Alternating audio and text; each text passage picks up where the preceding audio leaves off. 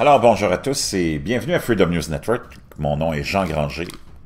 On est le 30 avril 2020, 8h06 heure du Québec. J'espère que vous allez bien tous. Et soyez patients, c'est pas fini.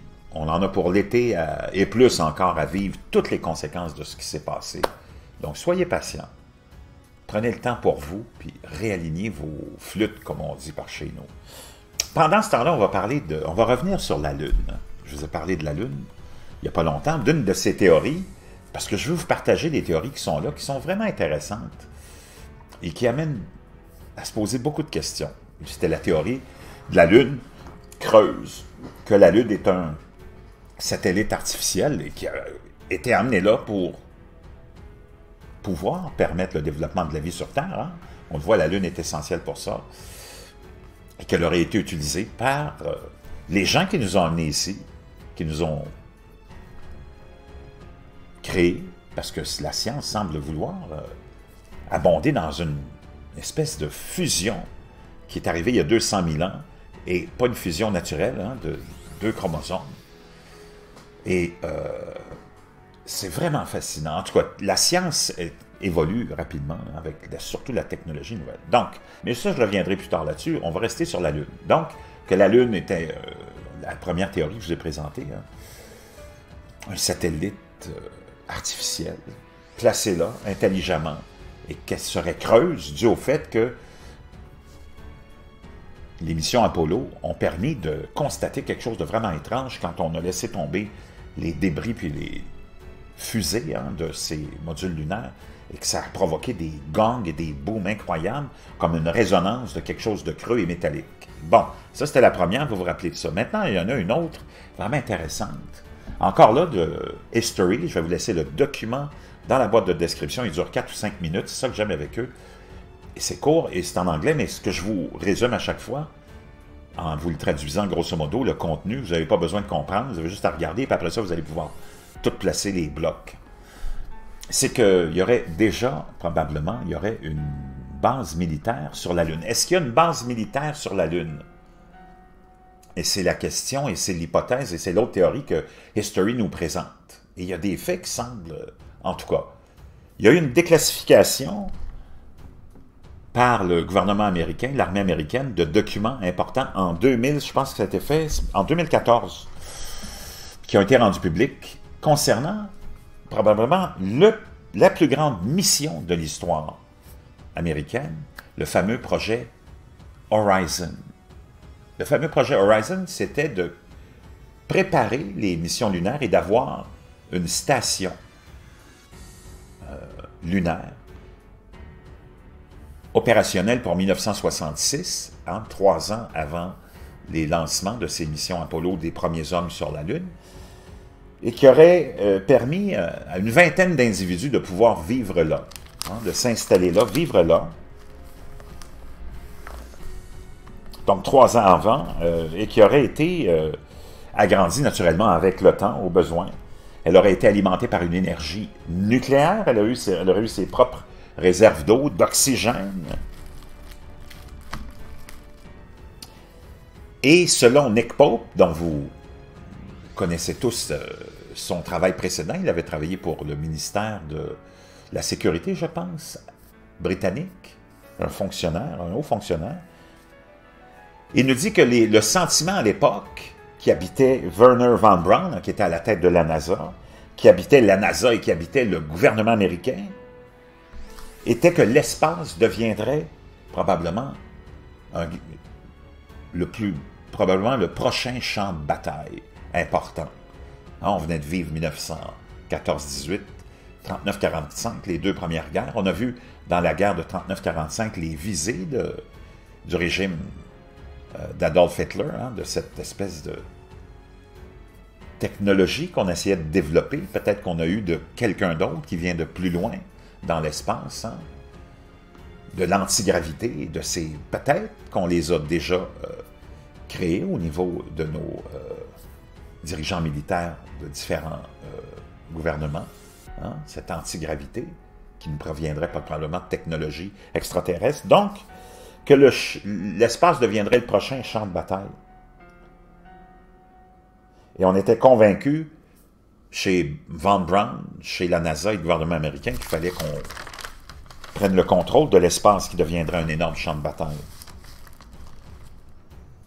Faut pas oublier qu'on était dans une espèce de guerre froide aussi, et que peut-être tout ça, ça a été un moyen de détourner l'attention, et que conjointement, la Russie et les Américains, selon eux, auraient travaillé conjointement pour soit aller créer cette base-là, hein, pour nous protéger d'une invasion, parce qu'on sait qu'il y a eu des intrusions hein, de ces gens-là dans l'histoire. Il, il y a plein de récits et de témoignages, on n'a pas besoin de revenir là-dessus. Et même le Pentagone a avoué être euh, devant des cas qui sont inexplicables. Déjà, c'est un grand pas d'avoir fait ça.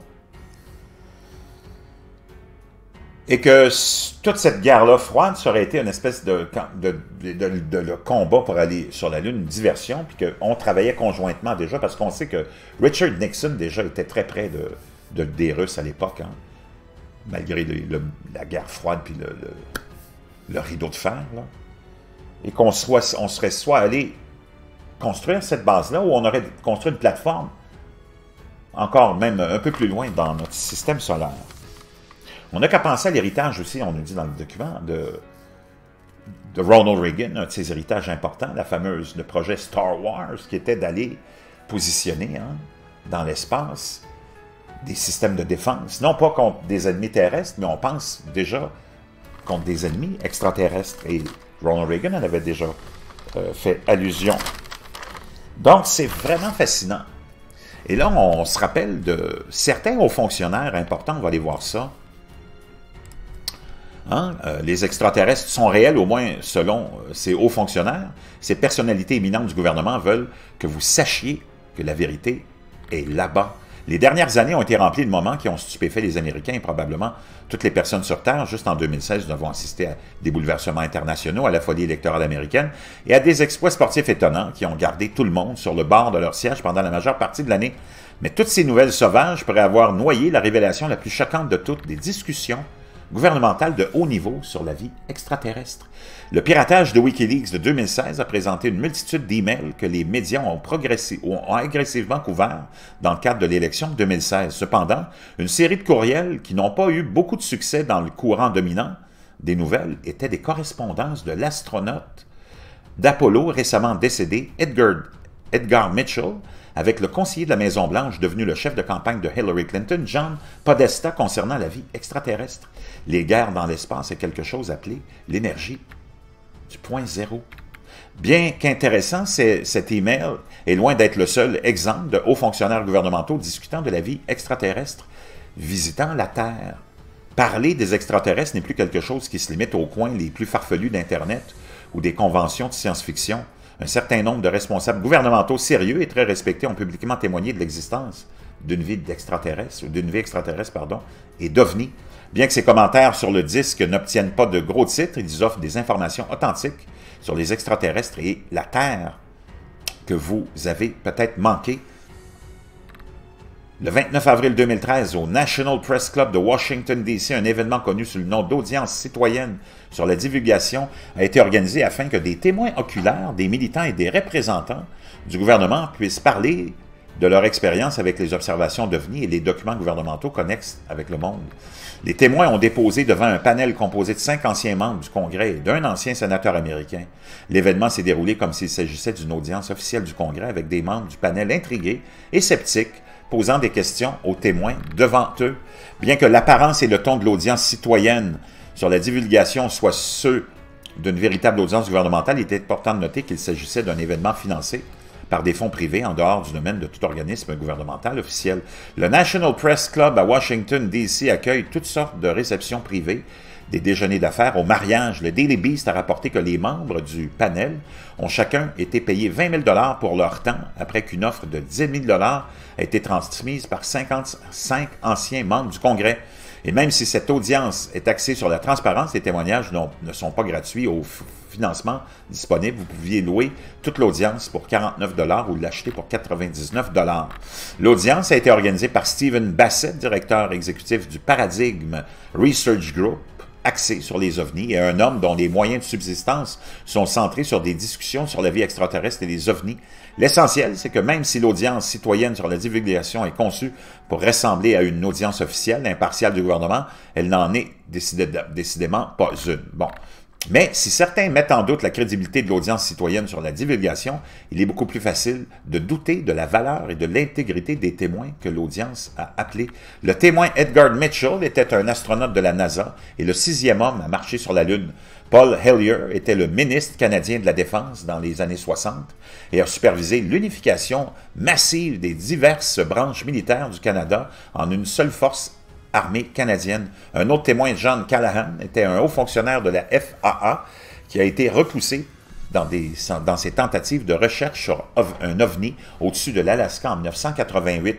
Ces représentants du gouvernement étaient parmi beaucoup d'autres qui étaient prêts à passer devant des caméras et d'anciens membres du Congrès et à partager leurs histoires et leurs convictions pendant quatre jours, l'audience citoyenne sur la divulgation a cherché à établir un cas où il y a des informations précieuses que le gouvernement américain ainsi que d'autres dirigeants internationaux cachent à leur peuple au sujet des ovnis et de la vie extraterrestre.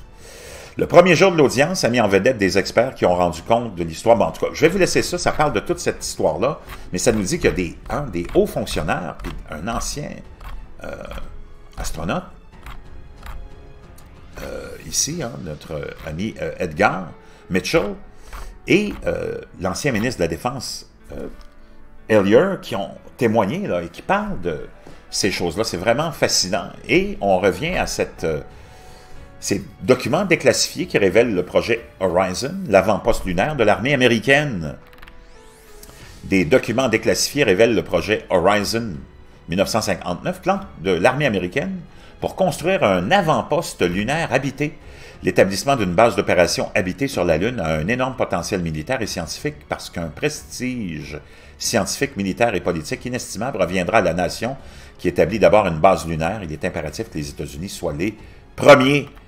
Ce n'est pas un secret que la Lune de la Terre a été considérée comme un corps céleste stratégique. En en repensant à l'histoire, nous constaterons que de nombreux pays avaient prévu des avant-postes scientifique à sa surface. Cependant, certains documents n'ont révélé que récemment, des projets de militarisation de la Lune, il est nécessaire d'avoir un avant-poste militaire habité.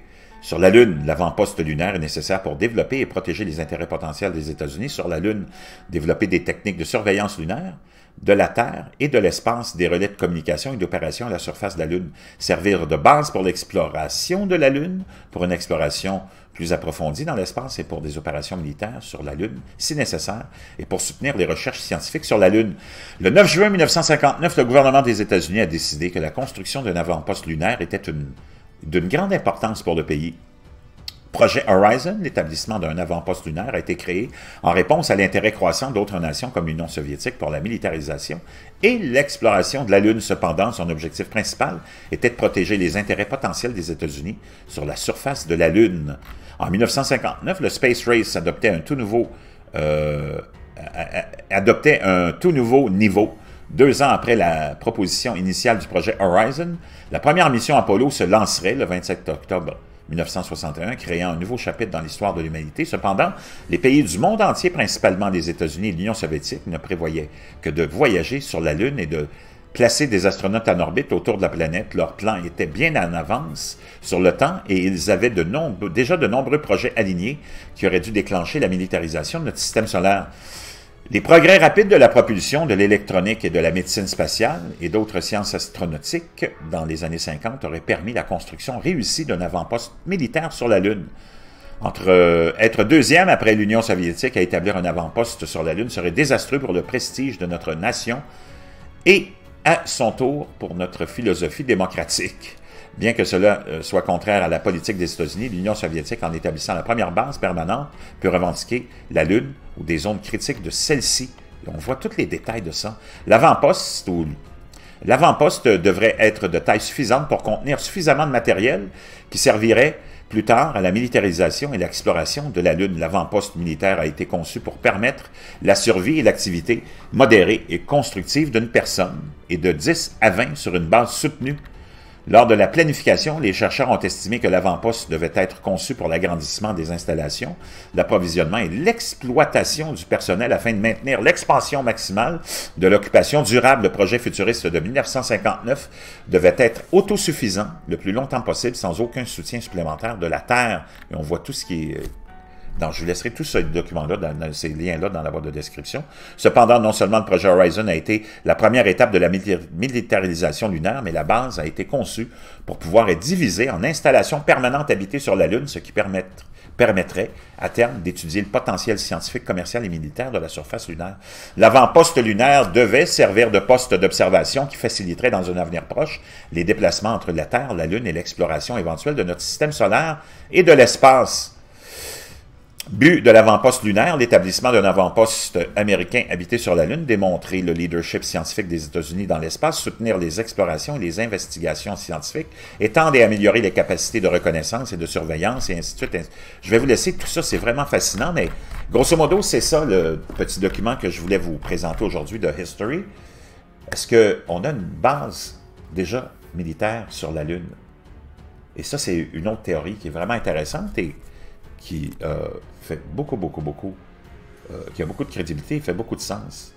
Je vous laisse juger par vous-même, je vous laisse tout ça dans la boîte de description, le document vidéo de History, qui, qui, qui parle de ce que je viens de vous euh, résumer, puis je vous laisse les deux documents de ça dans la boîte de description, puis je vous reviens avec plein d'autres choses, c'est vraiment fascinant.